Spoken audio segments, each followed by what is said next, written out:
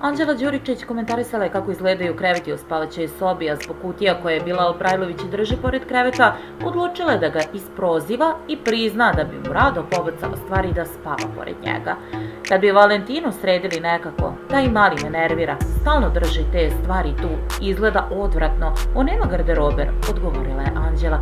Ima dva, dodala je Šarmen. Pa šta mu stoje onda stvari ovde? Na što to liči? Sva sreća, pa ne spavam tamo. Ja da spavam, ne bi on meni tako održao, da ne mogu da prolazim. Ja bih mu to izbacila iz sobe.